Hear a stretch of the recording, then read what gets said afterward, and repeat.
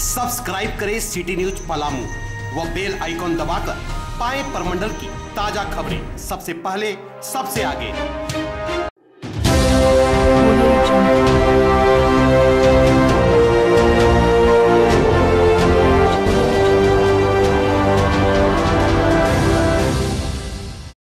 श्याम मित्र मंडल डाल्टनगंज के द्वारा आज भव्य निशान संकीर्तन एवं शोभा यात्रा निकाली गई। शोभा यात्रा अग्रसेन भवन से निकलकर शहर के प्रमुख मार्गों से गुजरते हुए पुनः अग्रसेन भवन पहुंचकर समाप्त हो गई।